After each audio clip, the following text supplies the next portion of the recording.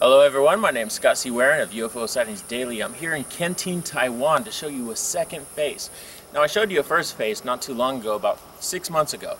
And here's a second face. The second face is right up there on the mountain. Let's zoom in on that. You can see its nose, its mouth, its eyes, and its forehead sticking out from the top of the mountain. This is a sign that alien bases are nearby. If you find these faces on the mountain, you can bet that there is an alien base not too far away.